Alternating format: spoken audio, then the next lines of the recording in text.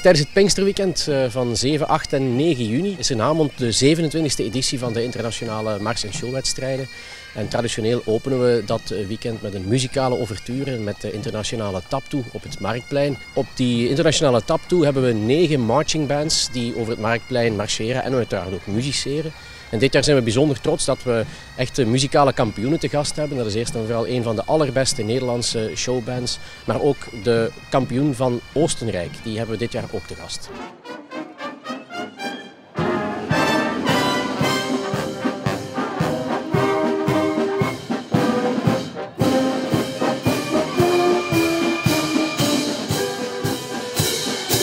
Op zondag 8 en maandag 9 eh, juni dan zijn de wedstrijden, internationale mars- en showwedstrijden. En dan hebben we telkens een twintigtal korpsen die optreden voor een internationale vakjury. Uh, ook dan is er weer veel spektakel op het Marktplein in Hamond, dus zeker een vaste moeite om een kijkje te komen nemen.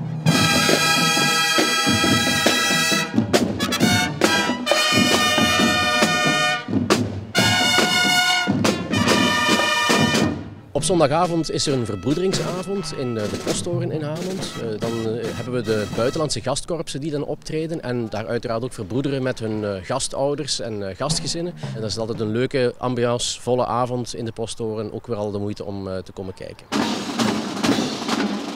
Elke wedstrijddag die wordt afgesloten met een gezamenlijke grote optocht op het Marktplein. En dan krijgen de korpsen te horen welk resultaat ze behaald hebben.